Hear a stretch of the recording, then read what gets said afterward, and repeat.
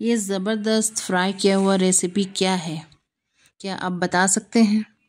इस रेसिपी का नाम है, चलिए मैं ही बता देती हूँ आपको। इस रेसिपी का नाम है नमकीन गोश्त। ये देखिए, जिसमें फ़ैट और गोश्त दोनों मिक्स है। और ये कितना अच्छा बिना फ्राई किए हुए ये फ्राई हो गया है। शुरू करते हैं फ्रेंड नमकीन गोश्त की रेसिपी बनाना। तो यहाँ पे मैं ली हूँ एक के जी मटन। इसे मैंने मीडियम साइज़ का पीस किया है और उसके बाद धोकर अच्छे से एक कुकर में डाल लिया है।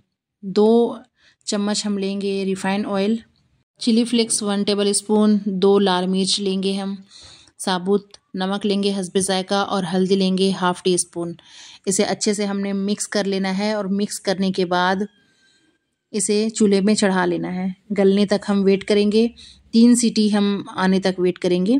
इस कुकर में जो है ना अपना अपना सबका अंदाज़ होता है तो मेरा इस कुकर में तीन सीटी, तीन विसल आएगा तो ये जो है गल जाएगा। मटन जो है वो गल चुका है हमारा, और यहाँ पे मैंने एक कढ़ाई में ट्रांसफ़र कर दिया है।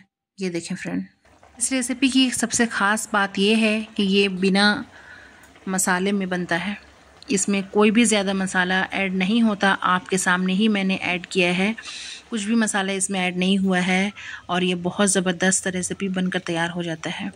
तो ये देखें फ्रेंड इसे ड्राई कर लेना है ड्राई करते के साथ भून लेना है और बस ये उसी में लाल भी हो जाएगा फ्राई भी हो जाएगा, बहुत ही अच्छा सा टेस्ट आ जाएगा। एक मुट्ठी हरा धनिया हम इसमें ऐड करेंगे और ये रेसिपी जो है वो तैयार है। आप इसे दो तीन लोगों के साथ यूँ ही चाय के साथ भी इंजॉय कर सकते हो या फिर ये रेसिपी जो है ना ये ज़्यादातर खाली ही सब लोगों को पसंद आता है। हमारी ये बकरीद की मोस्ट फेवरेट रेसिपी होती है।